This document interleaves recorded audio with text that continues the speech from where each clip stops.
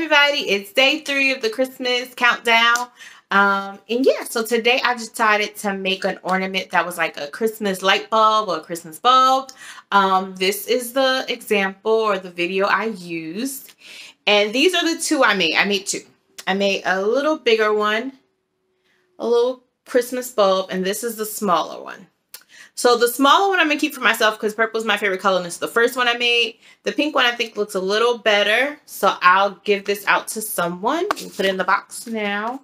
So I remember that this one is being given away. So I'll give this out to a family member or friend. Oh. So that goes in this cute little box. And then this one I'll put on the tree.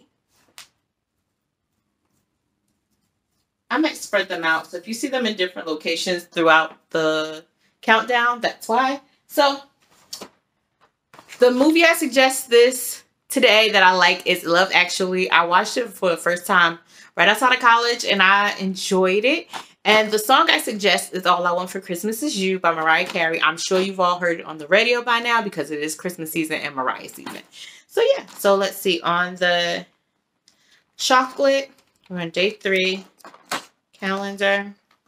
I thought there would be different shapes, but looks like we got another egg. So that's that. And then on the ornament, this advent calendar. Let's see. Day three is a little bigger than the other two boxes we've had so far.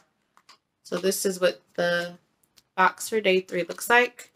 I think I'm going to open it right side up. Nope. It's going to open upside down. Here we go. Hmm. Oh, this is what you get. I'm going to read you exactly what they say because I call these different things, but all crocheters know what these are.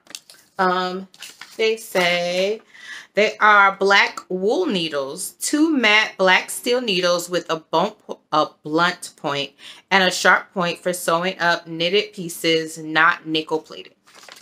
So yeah, so knitters and crocheters both use these. So yeah, so that's what's with day three. Okay, so I hope everyone enjoyed this video. I hope you're enjoying the Christmas season and I'll see you tomorrow. Bye.